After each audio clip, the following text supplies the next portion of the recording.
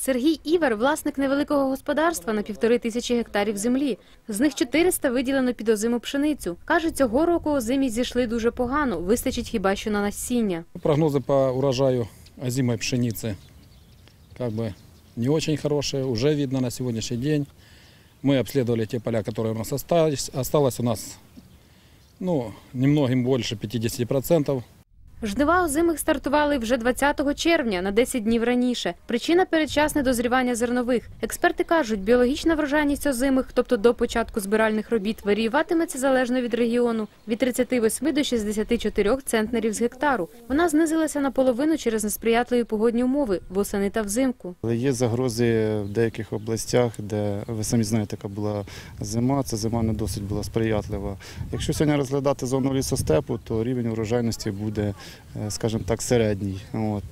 Е, Якщо зону західного регіону, теж досить непогана. Єдине, що пострадало, це схід, де трошки було занадто снігового покриву і високі температури, що призвело до вимерзання Невтішні прогнози і щодо ярової пшениці. Її врожай впаде на 17% порівняно з минулим роком, прогнозують експерти. В агрохолдингу «Укрланд Фармінг» ярову пшеницю посіяли на 80 тисячах гектарів. Тут сподіваються, власний врожай буде вищим, ніж загалом в Україні. Цьогоріч хочуть зібрати півтора-два мільйони тонн зерна. Ми плануємо в цьому році отримати урожайність пшениці близько 5,5-6 тонн з гектара.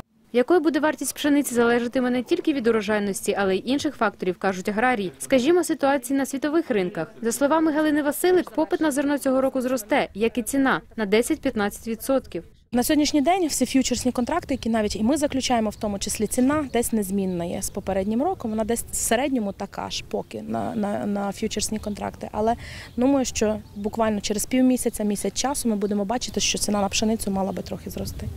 Собівартість вирощування пшениці нині становить 1600 гривень за тонну. Багато на цьому дрібні аграрії не зароблять, адже залежить від ціни, яку пропонують трейдери. А це 1700-1800 гривень за тонну. Фермери переконані, вартість зерна має бути вищою щонайменше на 30% за середньозважену ціну, яку встановлює Державний аграрний фонд. Прогнозируют, что этот самый аграрный фонд планирует э, закупки 1720. По этому году цена, я думаю, должна быть не менее где-то за 2000.